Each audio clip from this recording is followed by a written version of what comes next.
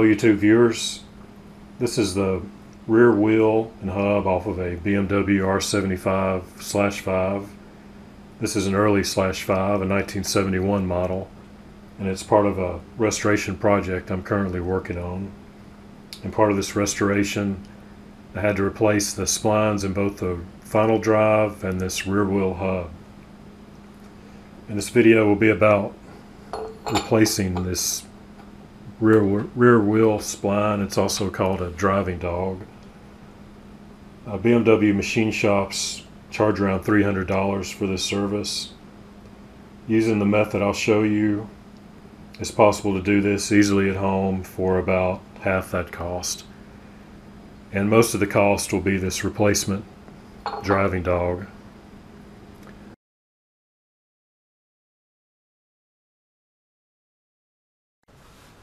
Okay, the first step is to remove the driving dog from the hub. This is a fairly simple process. I can't really go into detail because um, I've already done this, as you can see, but I basically followed the instructions to the letter on a gentleman's website, and I'll leave that link in the description of this video. But I'll try to summarize and maybe just give some tips on a couple things that I did that seemed to help. First thing you do, these are steel rivets and aluminum hub, and you want to, you're going to be basically drilling out these rivets. So you want to drill out the rivets from the driving dog side, mainly because if a drill slips or whatever, you don't want to damage the aluminum, and you're, you'll be throwing away this driving dog anyway, so you can't really damage the driving dog. The first step is to use a, a punch and make an indention on the top of the rivet and then use a 1 8 inch drill and you want to drill as straight down into the rivet as possible about a half inch. I recommend using a level and leveling the hub on a table before you start drilling and if you have one use a drill with a bubble level on it because you really you're going down a half inch with this drill and you want to if you go in at an angle you're going to end up doing damage going into the aluminum and it's it's just going to make things much worse for you. You want a high quality drill bit. I recommend using cobalt drill bits. They're fairly expensive but you definitely do not want to break off one of these drill bits and one this steel rivet, you, you'll just be making a simple job a lot harder. And this is a pilot hole, so you want it to be as straight as possible into the rivet.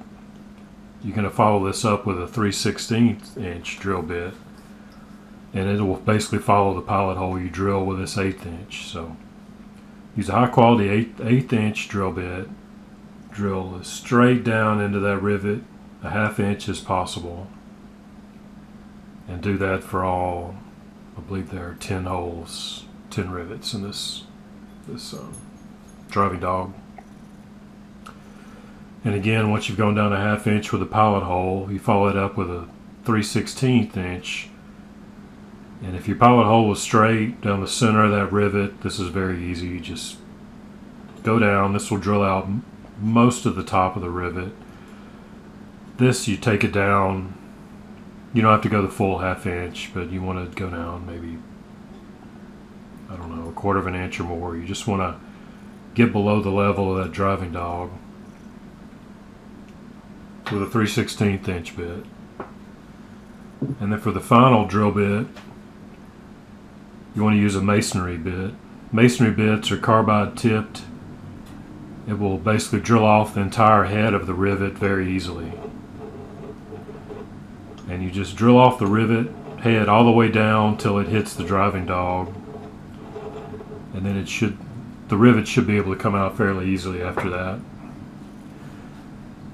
Um, the instructions on the website that I linked to don't mention it but I used penetrating oil once I had all the rivet heads drilled off. I sprayed penetrating oil think PB Blaster or Kroil or any any kind of um, penetrating oil you want to use, but you want to spray it on there pretty good. Just give it time. whatever it takes. Let that oil soak in around those rivets to make them easier to, to punch out. But that's the steps regarding take the taking the driving dog off once you've got the rivets drilled out and punched through there. The driving dog comes right off. You can see there's a, a lip there and the lip on the driving dog that basically makes it seat makes it center perfectly on that hub. And after you got the driving dog off, you just order one, a new one for the slash five. And actually, um, the best thing to do is order a slash six or the slash seven driving dog. And I'll tell you why in a second here.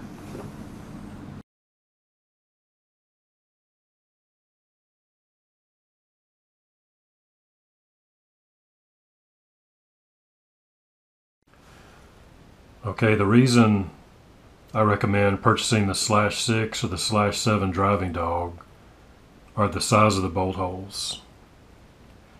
This is a slash 5 driving dog. And when I was doing this, I was following instructions online. Again, the link is in the description. And I completely missed the part where the size, the bolt holes are different between the slash 5 and the slash 6 and 7. The Slash 5 uses a 5 millimeter bolt hole. Slash 6 and 7 use a 6 millimeter or quarter inch bolt hole. Um, I had already purchased the bolts, the close tolerance aircraft bolts, to bolt this on with prior to realizing the difference and I received the bolts and they of course they didn't fit. I thought that's not a problem. Um, I prefer the larger, the higher strength bolts and the larger diameter bolts. So I just drilled out these aluminum holes from five millimeter to quarter inch using a my quarter inch cobalt drill bit. It's really easy to do. I recommend it. But the problem is drilling a hole in this driving dog. Uh, let me tell you, this is very high quality, very strong, hard steel. This, I'll tell you the truth, I could not drill through this with a cobalt drill bit. It's, I now have a quarter inch drill bit that's completely dull and it didn't even faze the steel here. Which is a good thing. You want the driving dog to be as hard to steel as possible. You want these splines to last as long as possible. But the only way you're going to drill through this driving dog would be using a masonry drill bit with a carbide tip. Okay, masonry drill bits have a carbide tip on them, brazed on the end, and they're very powerful and they will they'll drill through even the hardest steel. Uh, the problem with these carbide tip masonry bits they're just not that accurate. Uh, they don't have to be. They're made for drilling holes in concrete blocks or a concrete slab. So to drill a quarter inch hole in a slash five driving dog, you have to get a quarter inch masonry bit. And I would recommend using a caliper and this isn't a quarter inch masonry bit. This is like 3 eighths and measuring the end of the bit. And they're not accurate. Usually they're slightly larger than what you want. So if you use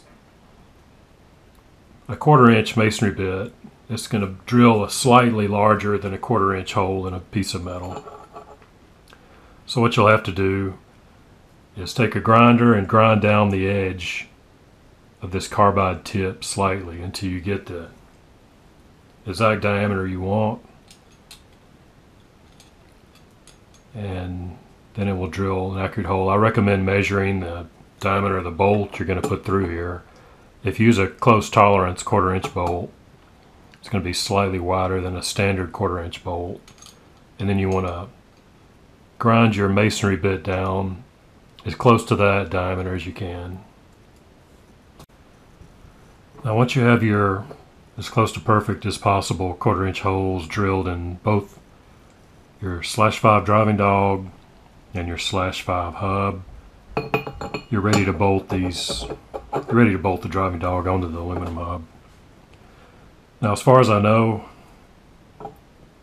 the slash 6 and slash 7 and slash 5 final drives are interchangeable, which tells me that the spline pattern is the same. It would have to be. I'm definitely no airhead expert, but I think the slash 6 and slash 7 driving dog would already have the right size holes, the quarter inch holes, and they would match up with the bolt pattern on the slash 5 hub. I, I don't know that for sure. Uh, this is just what I did, and it worked out for me. And if you want to save some money, the Slash 5 driving dog is about $113 online. The Slash 6 and Slash 7 driving dog is, I think, closer to 140 So if you want to save some money, you can go the route I did and use a masonry bit to drill the correct size holes or the quarter inch holes, or you can just, if anybody out there knows that a slash 6 or 7 driving dog will fit on a slash 5 hub, I'd appreciate a comment. I'll, I will edit this video or edit the comments to let you know for sure. This is just what I did and it, it seems to work great.